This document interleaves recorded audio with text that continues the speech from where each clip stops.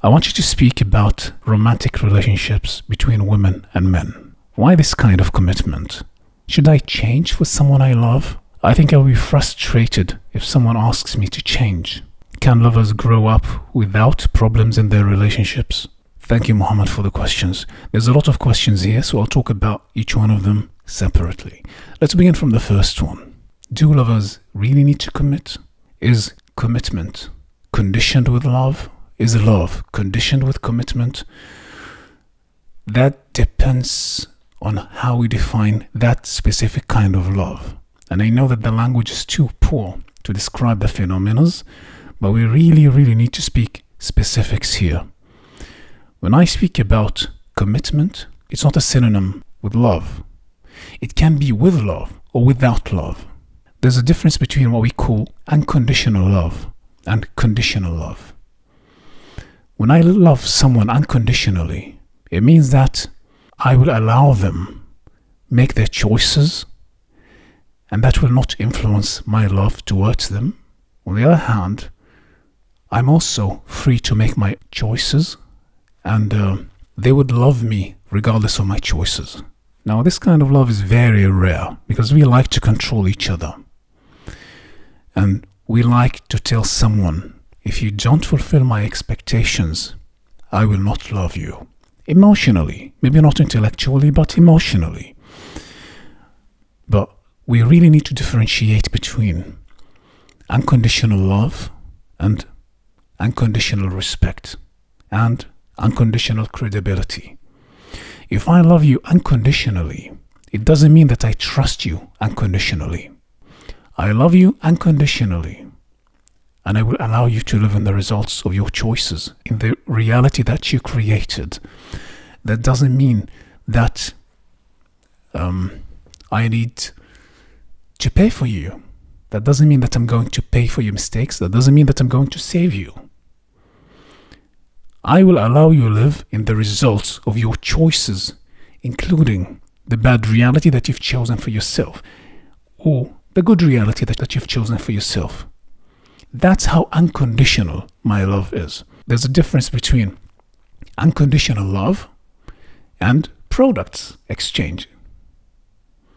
Giving a product for free is not an expression of love.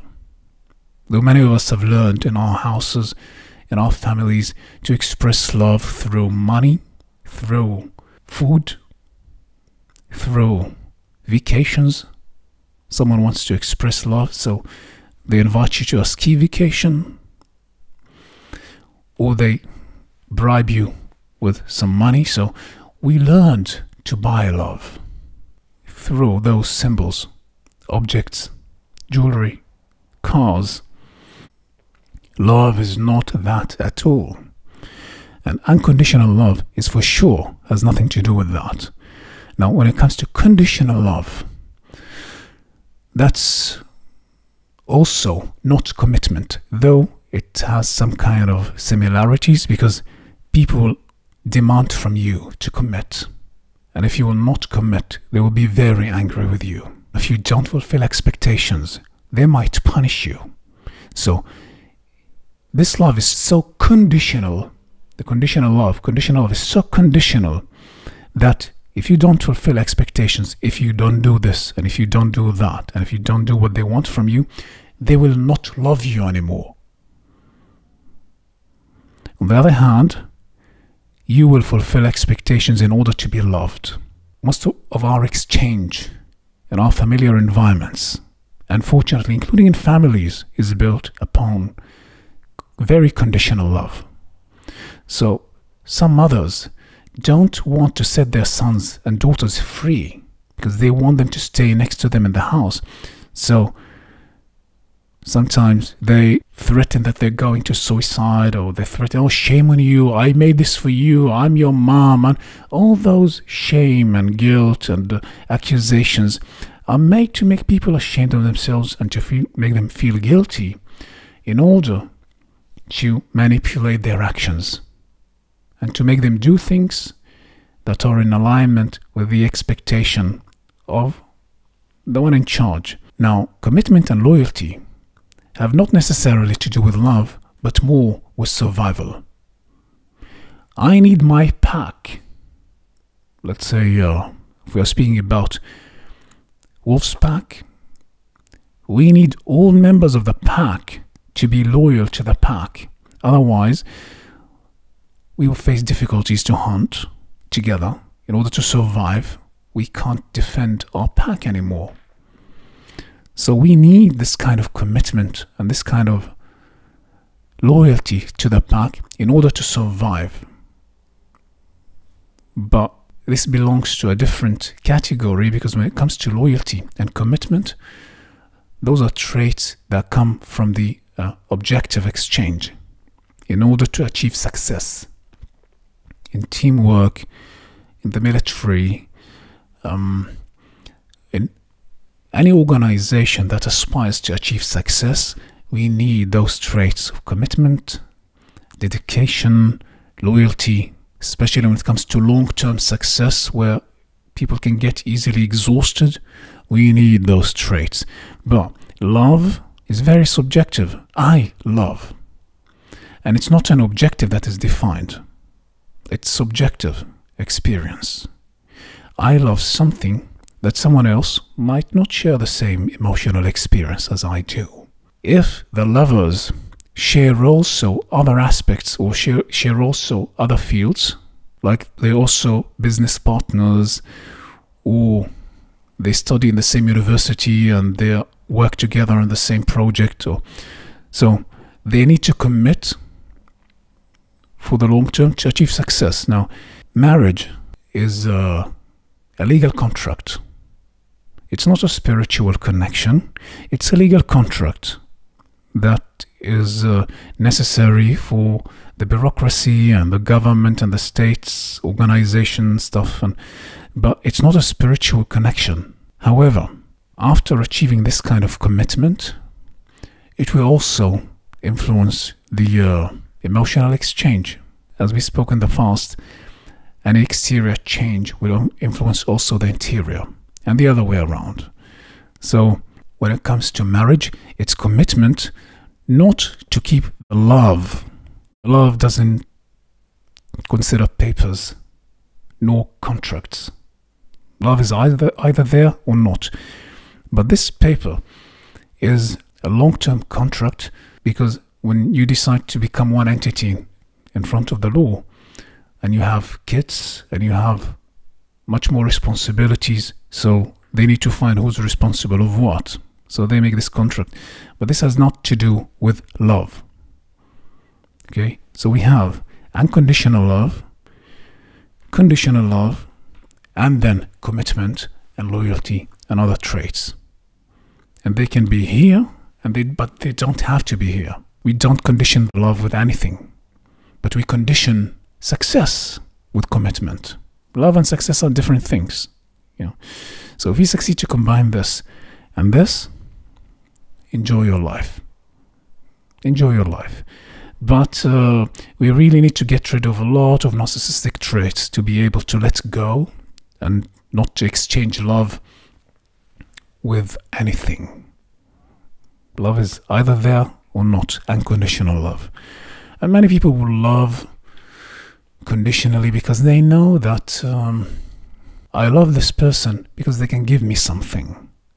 So if you know, you might go to some uh, networking events and you see that people are looking for someone to give them a job and they show they're loving, they are alive. Uh, but actually, or someone, anyone who has an interest, they're shining out of love, and but they're actually putting themselves in that state of being because there's a condition, not because they're loving just because of who they are.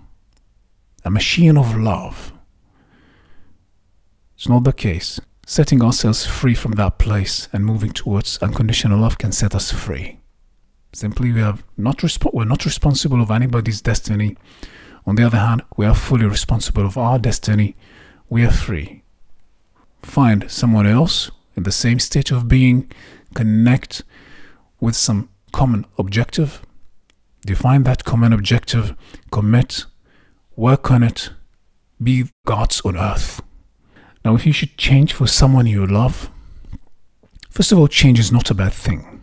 For example, when you go and you want to buy apples, you pay, let's say, uh, one dollar or two dollars or two euros. So now you changed.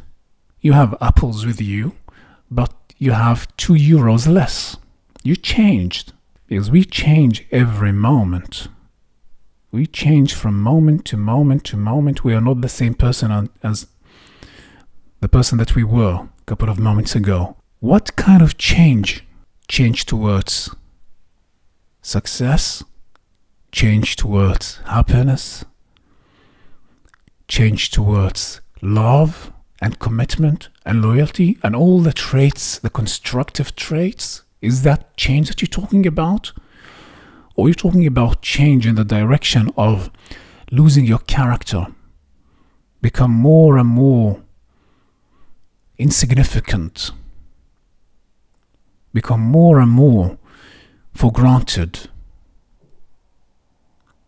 That's a different change. You can't treat both changes with the same word, though our language is too poor to explain the phenomena. But this change is different than that change. What kind of change are you talking about? So, change in the name of growth, change in the name of survival, that's essential. Otherwise, life is meaningless.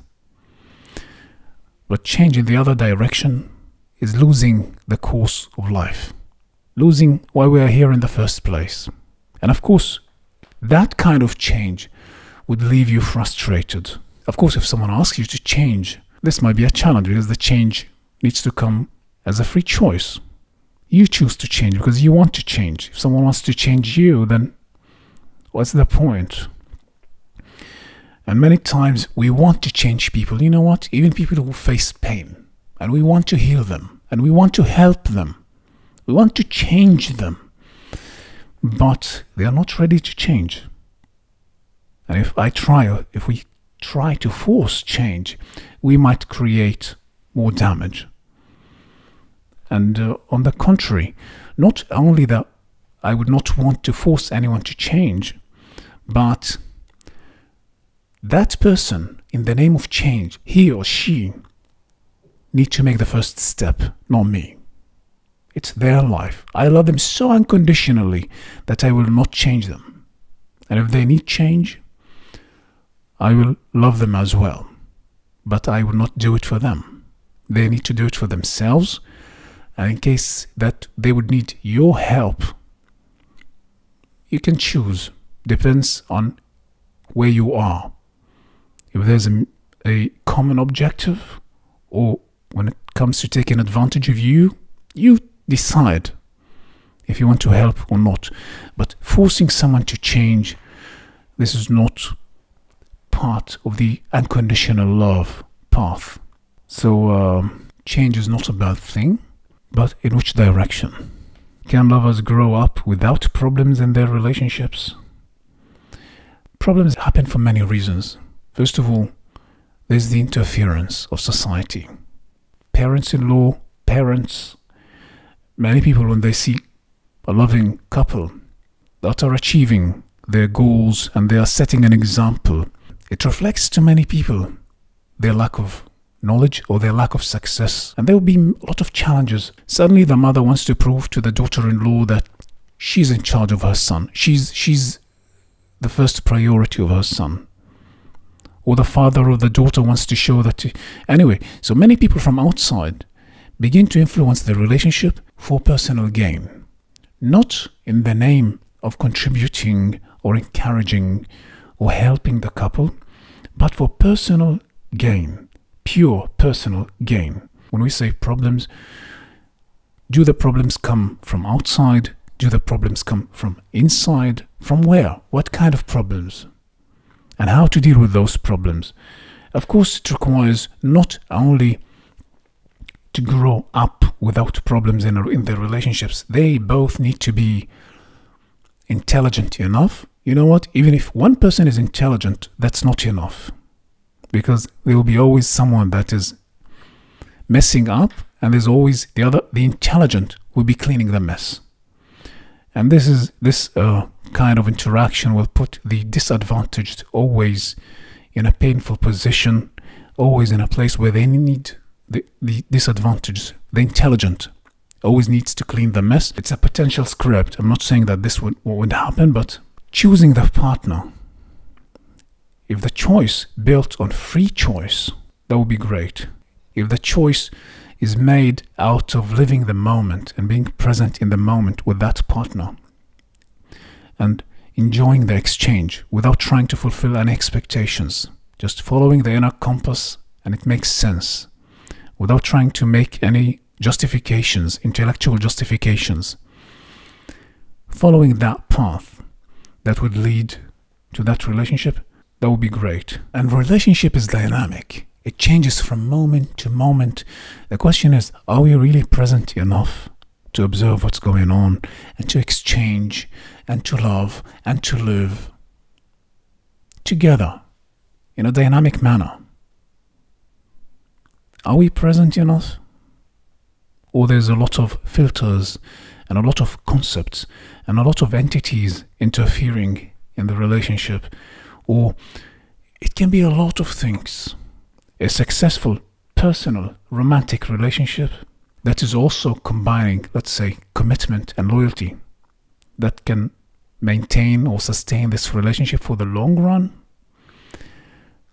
This is uh, not something that can be easily achievable in our society today, especially in our narcissistic society that is built on uh, very short term subjective objectives one night stands, parasitic mindset. I just need something and I will run away immediately.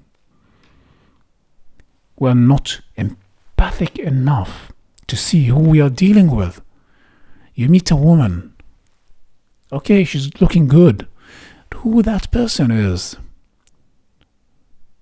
You know that emotional wealth and that emotional intelligence, and that amount of empathy that allows us to see and connect emotionally, genuinely with each other.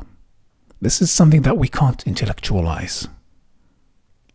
And we can't come to that place with so much prejudices and misconceptions. It's a challenge. It's a challenge. Anyway, I hope I could help answering your question, Muhammad. Thank you so much for the question. Thank you everyone for staying with me. I'm Shredy Jabarin. Ciao.